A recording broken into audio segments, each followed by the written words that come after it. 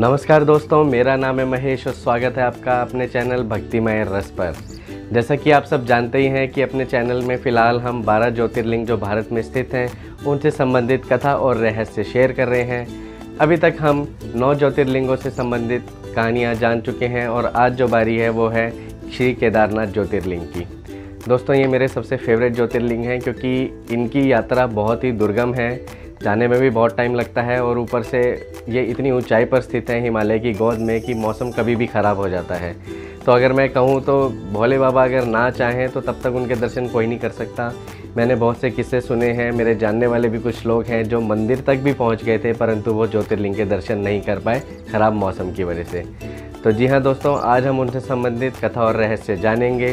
तो दोस्तों, अगर अभी तक आपने मेरे चैनल को सब्सक्राइब नहीं किया है तो सब्सक्राइब ज़रूर करिए ताकि मैं और ऐसी भक्ति रिलेटेड इन्फॉर्मेशन आपके साथ शेयर कर सकूँ, आप भी वो जान सकें और अपना ज्ञान बढ़ा सकें। साथ ही साथ वीडियो को लाइक कमेंट और शेयर करना तो बिल्कुल भी ना भूलें। तो आइए शुरू करते हैं श्री केदारनाथ जी की कहानी से।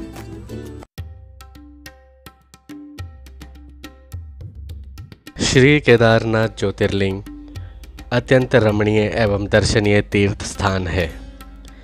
चारों ओर ऊँचे ऊँचे पर्वतों के बीच विराजे श्री केदारनाथ भगवान का यह ज्योतिर्लिंग मनमोहनीय है। चार धाम की यात्रा में भी इसका सर्वोत्तम स्थान माना जाता है। कहा गया है, इनके दर्शन के पश्चात ही बद्रीनाथ धाम के दर्शन के लिए जाएँ, तभी उत्तरांचल की चार धाम यात्रा पूर्ण मानी जाती है। श्री केदारनाथ ज्योतिर्लिंग की महिमा अनुसार इस केदार पर्वत की तलहटी में भगवान विष्णु के अवतार, ऋषि नर तथा नारायण शिवशंकर के परम भक्त निवास करते थे। वे यहाँ पर पार्थिव शिवलिंग बनाकर नित्य भोलेनाथ की विधि विधान पूर्वक जब तब पूजा अर्चना व कठोर आराधना किया करते थे। भगवान शंकर ने उनकी पूजा आराधना से प्रसन्न होकर उन्हें साक्षात दर्शन दिए। नर नारायण भोलेनाथ को सम्मुख देखकर भाव विभोर हो गए। शिव ने कहा, ऋषि नर नारायण तुम्हारी भक्ति की प्रशंसा, मैं तो क्या संपूर्ण देवलोक, यहाँ तक कि ब्रह्मा तथा विष्णु भी करते नहीं थकते। अतः मांगो, कुछ वरदान मांगो। ऋषि द्वारा नर तथा नारायण ने स आदर सत्कार पूर्वक भोलेनाथ से इसी स्थान पर विराजित होने की आराधना की। भगवान शंकर खुश हुए और यहीं केदार पर्वत के शैल शिखर पर विराजमान हो गए। स्वर्गलोक के सभी देवताओं ने इस ज्योतिर्लिंग तीर्थ की जय जयकार की।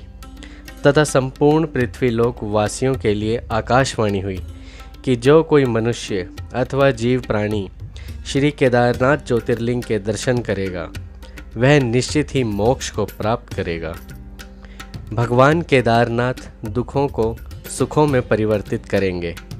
शिव पुराण के अनुसार जो भक्त केदारनाथ को कड़ा अर्पित करता है, वह समस्त कष्टों से मुक्त हो जाता है।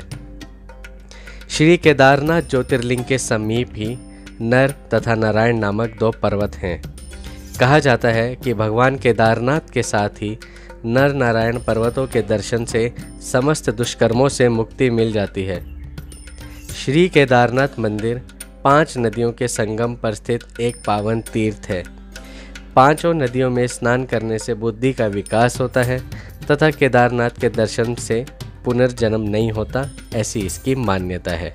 बारह ज्योतिर्लिंगों में श्री केदारनाथ ज्योतिर्लिंग की महिमा विशिष्ट मानी गई है।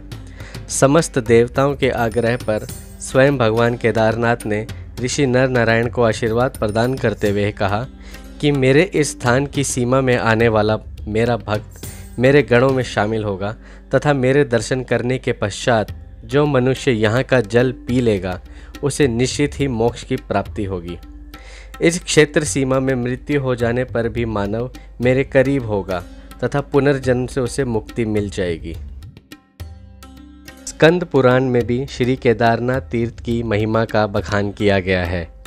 इसके अनुसार मंगलवार के दिन यदि अमावस्या पड़े और इस दिन यहाँ पूर्वजों का श्राद्ध कर्म किया जाए तो निश्चित ही मृत आत्मा भगवान शिव की सेवा में पहुंचकर मोक्ष प्राप्त करते हैं। भारतीय संस्कृति में वैसे भी तीर्थ दर्शन तथा तीर्थ स्थानों को मोक्ष द्वार माना गया है। संपूर्ण ब्रह्मांड में केवल पृथ्वी लोक ही एक ऐसा पवित्र स्थान है, जहाँ स्वयं देवता वास्त करने को तथा विवरण करने को आतुर रहते हैं। जिस स्थान पर स्वयं भोलेनाथ विराजमान हो, वहाँ दुख, कष्ट, पीड़ा आदि का नामो निशान ही नहीं होता। दोस्तों, ये है भीमशिला। जून 17 2013 में जब केदारनाथ में भयंकर बाढ़ आई थी, उस समय उसने पूरे के पूरे केदारनाथ, गाँव केदारनाथ घाटी को तबाह कर दिया था। उसी बाढ़ में ऊपर से यह बड़ा सा पत्थर बहता हुआ आया पानी के साथ और ठीक मंदिर के पीछे आके कुछ दूरी पर रुक गया। इस पत्थर की वजह से ही पानी मंदिर को छू भी नहीं सका और दाएँ बाएँ से निकल गया, जिसकी वजह से मंदिर को कोई क्षति नहीं पहुँची। यह एक प्रभु का अद्भुत चमत्कार ही था, जिसके बाद इस शिला का नाम भीम शिला रख दिया गया। आज भी इसकी वहाँ पर पूजा होती है और यह शिला आप जाकर देख सकते हैं। तो दोस्तों, आशा करता हूँ आपको ये वीडियो पसंद आया होगा और आपको ज़रूर श्री केदारनाथ ज्योतिर्लिंग से संबंधित कथा और रहस्य जानने में मदद मिली होगी। मैं खुद श्री केदारनाथ जी के दर्शन कर चुका हूँ, मई 2019 में पिछले ही वर्ष। और मैंने इस पर एक वीडियो भी डाला है अपने चैनल पे कि आप कैसे कम खर्च में पब्लिक ट्रांसपोर्ट द्वारा जाकर दर्शन कर सकते हैं। हमारी किस्मत बहुत अच्छी थी। एक दिन पहले तक वहाँ बर्फ़बारी हुई थी, काफ़ी तेज़ आंधी तूफ़ान था, मौसम बहुत ख़राब था, परंतु जब हमारे दर्शन का समय आया तो सब कुछ ठीक ठाक हो गया। अगले वीडियो में दोस्तों हम लेकर आएँगे केदारनाथ ज्योतिर्लिंग से संबंधित ही उत्तराखंड में जो हमारे पाँच मंदिर हैं जिनको पंच केदार कहा जाता है उससे संबंधित कथा कि पंच केदार का क्या महत्व है इन पाँचों मंदिरों के दर्शन करना क्यों महत्वपूर्ण है जब भी आप उत्तराखंड जाते हैं तो, तो बने रहिए मेरे चैनल पर। मिलेंगे अगले वीडियो में पंच केदार की यात्रा के साथ। तब तक के लिए जय भोले बाबा की।